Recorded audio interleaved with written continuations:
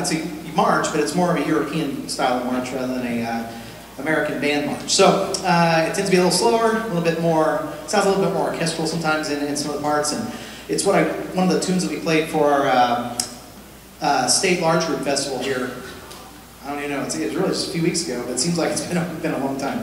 But anyway, so uh, we hope you enjoyed that. We always like to share a little bit of those pieces we do. We spend a lot of time working on those um, so we can go and do our, do our state large festival. We did a great job this year. This band actually was one point off of a one rating. We, we had, yeah, they did great. It